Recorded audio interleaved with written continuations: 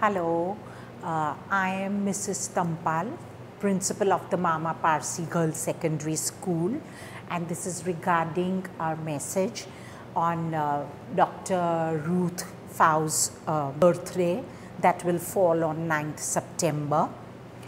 The Mama School has always been a patron of the MALC, the Marie Adelaide Leprosy Center.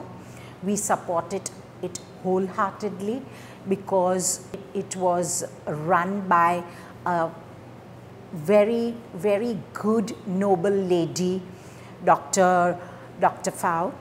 And uh, my children have been always enthusiastic about participating in uh, all the endeavors of MLC, the uh, charity drives that they have been conducting we fondly remember her on her birthday and we wish MALC to continue in her footsteps and do well for humanity.